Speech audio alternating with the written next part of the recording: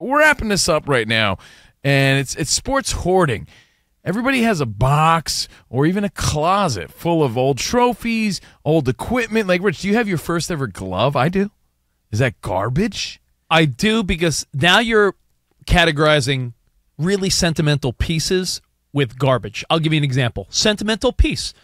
My T-ball glove, my Wilson George Brett name on it, little Mine league was glove. uh, who's the autograph from? Robin Yount, I said George Brett. George Brett. Mine was uh, Jim Palmer. My next one was Ozzie Smith. That was my shortstop pitching glove. Ozzie. Nice. Now that was my Rawling special. That's sentimental. That's important. You know what's not?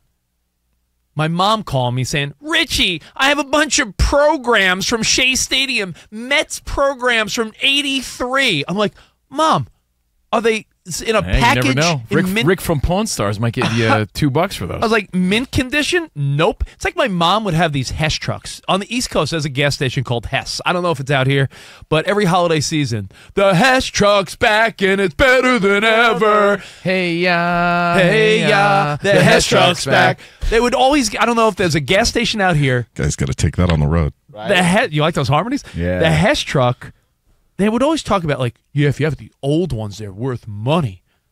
Yeah, if they're in the box in mint condition. My mom had like 50 Hess trucks, and when I helped her move recently, I'm like, throw these all out. The boxes are destroyed. They're not good. Stop it. You're a hoarder. And Stop it. Well, dude, again, let's not go too off track. Like the Lionel train set that your dad has in the attic that's going to be worth millions of dollars someday. throw it out. Throw it out or keep it. Look, we're talking sports memorabilia or sports equipment, sports hoarding. And I do have this vision of sugar plums and displays. Like I have autographed basketballs, autographed footballs, boxing gloves, and they're all in bins in storage. That's trash to Rich. nonsense. Rich says get rid of it because according to Rich's theory, if I haven't cared about it in four years, it's trash. Well, I still have this vision that one day I'll be able to display it proudly, mounted in a case.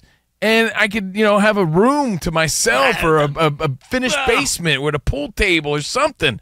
So you're There's no dumping finished- on that. first of all, but there's you're no- dumping on that dream and in that Okay. vision, and that's All why right. a lot of people right. hold on to this stuff. Danny, Yep. I, I have thoughts, but uh, take it away because I know you're passionate as well about this. Well, I, one of the reasons that I'm fired up about this topic is because, and it's a quick trivia question for you guys. What is the annual total that do you think that um, storage companies have made in one year? This is from 2020. This stat right here in Ooh, front of me. that's a good one because there's a lot of people that Yeah. are like, "Oh, I'll use it for a couple months," and they don't. They use it forever. Yep. So every month The- they're like, "Oh, so 80 bucks." The total revenue for storage companies in the U.S. in the year 2020.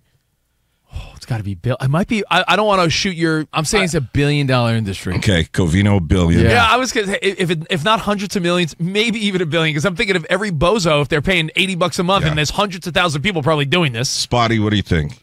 Oh yeah. And Um, they're always jacking up the rates too. Oh, it- yeah. no rent control. Yeah. Every six months is when they end your promo. And there's a reason and you're stack asking. it by fifty dollars. seven hundred fifty million. No. Th- This is a real number, okay? Thirty-nine billion dollars with a B in storage. in storage. And this was four years ago. Oh, If anything, they're making more like right now. Holy. And so, Storage Wars and those shows, oh my God. There's a reason, right, There yeah. is a huge reason. And they are capitalizing on all of us who have had World War II grandparents and people who have hoarded and kept all their things. Like a little storage unit in the LA area, $150 a month. at And a by the way, we got to say that we're using the term hoarding loosely after seeing the other shows on TV about hoarding. Like, of course, nobody's like that, but Yeah. we keep a lot of this stuff and it takes up a lot of space. You're buying extra storage. Danny G showed us one of his closets It's full of sporting equipment. I, I no it. offense, Danny. If you post that at Danny Gradio, Danny G Radio, spot put, put it on uh, at Covino and Rich too, if you don't mind. I see a closet of stuff where I'd be like, well, I'd keep like two of those things. Yeah. I like his XFL football. Yeah, Yeah. what do you even like? See, I, I feel like you you work in our world, especially radio, television. You accumulate. You a lot accumulate of a junk, lot of You do. freebies. Like, oh look, uh, you know, and and for us it triggers a memory like i have a pharrell signed nba basketball and it's when he came to the studio and he talked sports with us. And he- Scotty Fro? yeah. Shake it up. Shake it- no, hey, different friend. Danny Would you like me to G. pour you? Danny G, way to meet you, man. By the way, your dude Pharrell, uh, Pharrell Williams just had a huge Louis Vuitton fashion show in Paris. Yep. And everyone from LeBron James to Jay Z, Rihanna, To Kim Kardashian. Kim Kardashian, everyone was out there. He's the new spokesman. He's the new male spokesman for Louis Vuitton. Speaking Crazy. of Pharrell, look at that. Crazy. Yeah. Like a couple of things I have in my storage unit a Master P doll where you push the back of him and he talks. says, he says, "Uh, he says, na, na, "Uh, na, na." na." Yo, we had that. I swear to God. I have what? Like I have all these toys and trinkets from record companies for from two and a half decades, and CDs and vinyl and all, and Oh, turntables and guitars and all this stuff. What do you do with that stuff? You're going to display it one day in your man cave, and Rich says no because he's in the process Yeah. of doing this. I'm gonna. You guys are like. Uh, do you remember one of my favorite movies of all time? Have you seen Shawshank Redemption, Danny? Uh, only 175 times all the way Arguably, through. arguably the, the best movie in of my all time. top five. Yeah, in my either- top okay. five of all time. We could agree with that. Shawshank, top five movie of all time. Okay. These are pipe dreams. you guys have pipe dreams like Andy Dufresne. Yes. Because Covino said, "Oh, my finished basement There's Or no fini- office or something no, like There's no finished basements in Why? L.A. People don't have basements I'll here have for the a most room. part. Yeah, Um, I, I I grew up in, with the Cribs generation where I'm going to have these jerseys and these things mounted in my game room. I, I just promise you, with kids, a wife, and life, you're lucky if one day you buy a ridiculously overpriced home in Southern California. Here's what I I picture Covino hanging because I know he has these things. You're going to be selective and you want it to look sleek and cool. Covino's going to have a Mike Tyson, hey, to Cavino, Iron Mike Tyson boxing glove, which I know you have. Mm-hmm. You have a Derek Jeter signed bat from like a World Series. Mm-hmm. You have a few really nice items. All this other junk, like that's my Alfonso Soriano signed plaque, that is going nowhere. So you said there's Like, different Are you tiers. Yeah, but what I'm saying Are is- you kidding? The Dominican Dream? That's going uh, definitely in my man cave. Oh, look, Covino's. Uh, No, you're, Rich. uh, Rich puts no value on anything personal. In fact, he's redoing his entire garage right now as like a den, and he's calling it the Gal Garage because he's not hanging any of his own personal. my wife, my wife's taking most of it over. I, do you know what I want to hang at my house? And just to show you that I don't not value things, I feel like you have to focus on a couple big items. I have a baseball that was signed by the entire 1986 Mets team. It's my most valuable prized possession, and I'm not a guy into material things, but um, it's fantastic. So I have that and a signed Montana jersey. I don't know if, any, and I have a Mike Tyson glove, and we love Iron Mike here on the show. So if I were to decorate my office or garage or den or man cave, if you're not going to be, you're not going to use your 1991 bowling trophy, Covino. You're not putting that anywhere, so it's that trash. stuff I'm not. Yeah, that stuff I'm not going to display, but it is part of the sports hoarding culture. I and guess, this all started. discussed. This all started because I went to Sirius XM, and you know we were there for years before we made the great move to FSR. We were at SXM. Great people there, but they gave me all these boxes of like, oh, you guys, uh, we found these old boxes, and I'm thinking, what's in there? You know, uh, from 2016, uh, you know, a, a poster with Covino's face on it from a Vegas event we did. I'll hang one of those up. Hey, I just watched Creed 3, right? I just watched Creed 3. What did Adonis Creed have in his sweet ass place? He had like a little A mural. a mural Yes, of, his, of yes. himself, right? He was all proud with his belts there and everything. It's Yeah. not bragging. It's like, yo, this is what I do. This is what I'm proud of. This is what I like or whatever. You don't think it I would tells your life story. Yeah, you don't think I would hang one of those posters? Oh, you can hang a belt. us? You can hang a belt when you had a size 32 waist. Shut up. Whatever. You know, I'm talking to a guy who puts no value in anything, so you're never going to understand or relate. But when I have that, don't come and tell me it looks great, or don't come and try to swag my steez when you're when you're like, man, oh man, I should have hung those things up too. Dan Because Beyer, you you're made- gonna you're gonna look at it and you're gonna say, yo, that that was dope. You've made a fine career in, in sports and entertainment. Do you do you envision like all this memorabilia, or do you feel like a couple unique items are what you would do? Uh, you need a couple of unique items, and I just know from experience. I used to collect sporting news the when it was the newspaper, Yeah. Mm-hmm. and I thought when I was 13 that I would love to look back one day on those.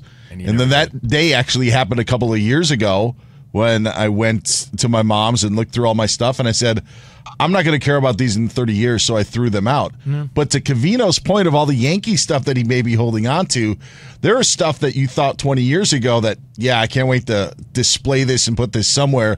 And it just completely is doesn't match anything else that would be in the room. Maybe a picture is faded or a jersey is faded. Or it's like a weird color wood, like Yes. a light wood. And you're like, I Yes. don't want this light wood. And things, I mean, Yes. memorabilia has stepped up. So I do agree and understand what you're talking about. Like something that you thought was back, you know, cool back in the '90s. Oh, doesn't necessarily look. you that know- cool It sounds like old tattoos versus new tattoos. Yeah. You know what I have? yeah. That's I honestly. I'll give you one more piece of memorabilia that I think is pretty cool that I had. We knew that we were having Hulk Hogan on the show, so I have a yellow Hulkamania tank top, and he signed it like too rich. Thanks for being a Hulkamaniac. Don't you also That- have a zip, that's something Don't you have a, a you know? Ziploc bag of his mustache trimmings? No, I have uh no George Animal Steele's chest hair. Oh, okay. so Well, hoarding, or is it you know sentimental, or is it something you plan on displaying? Either way, you're contributing probably to the thirty-nine billion dollar industry of storage if you're keeping a lot of this stuff. what so about the what, we were talking So about. when you go to your parents' house, yeah. and they have that badminton set in the garage or the pogo stick or the 25 wiffle balls and the box of 50 old worn out baseballs that you did home run derbies with. The sad reality is that one day, hopefully it's when they're 90 or 100 years old, uh, people pass away. You know what happens? It all gets thrown out. So I just feel like I want to minimize the drama for my kids in 50 years. like, I, you know, I want to I want to go one day when I'm an old guy, 100 years old, like, Ugh, and then be like, my kids not have Well- to go through dad's old Sports Illustrated. Rich, thanks to my wife, you'll be uh, proud to hear that a few weekends ago I went to the storage unit and I told them, please give me the smallest one you have. And I spent the entire weekend transfer throwing things away and downsizing and fitting into the smallest unit they have, which is still 120 bucks a month. Your, your wife's going to invite me over for dinner. To, she's going to be like, "Go- go over Danny's stuff with him one more time. Well, one day, you know what I'm going to display in my man cave? Danny G, you're going to love this. I have an autographed Luis, Shaq. Luis Polonia, uh, No, jock oh, strap. yeah. Dude, it's Louis Sojo. Get it right. Uh, I have a Shaq game worn shoe. No, have looks like a- That's a, cool. Looks like a boat. I got a Shaq and Kareem autographed on the same bed. I just need Oh, Magic Johnson on that bad boy. See, that's a thing. Yeah. I, I get it, Rich. If it's junk and it's weathered, like Beyer points out, I agree with that. But if it looks good and it's from a celeb that we all respect and love, then I And don't want to throw that away. and it's mounted properly. Or you can easily mount it properly. Exactly. You buy these cases on Amazon. Do it yourself. So again, one man's uh, trash is another man's treasure. Sports hoarding is Covino and Rich. Oh, can I give one more piece of advice? If Sure. We're talking about keeping stuff. We're talking about sports memorabilia. Keep the special items, and of course, if something means something, like oh, it was the first game I went to with my uh, my grandpappy. Of course, you're going to keep that program from a 1990 Reds game. I get it, but when it comes to clothes, a lot of people hoard clothes too, and we were very fortunate. Covino and I did a, a TV show for a couple years at ESPN, and that gave me an idea that I still use to this day, even though we're not on TV yet again. I would say if I'm not willing to wear this on a date night with my wife, or if I'm not willing to wear this on the set of a TV show, when am I ever going to wear it? And I immediately said, donation pile. A lot of people do. Covino and I always joked that you would keep old sweats and say, oh, you know, if I end up playing tackle football one day, you're a 40 year old guy. You're not playing tackle football one day. You know, for when Uh, I paint, uh, yeah, you're not You're not painting. You hired painters. You know, like You're not so. painting anything. So all the things we make excuses for, like, oh, this old ratty shirt when I wash my car. No, you go to the car wash. You don't wash your car. So Exactly, just a reminder not to Donate it. accumulate, not to accumulate stuff. Give it to someone else who may look at it as a treasure. And don't don't compile all this junk in your house because look at your parents' house. Like you said, they got your uh, He-Man figures in their attic and they want to get rid of them.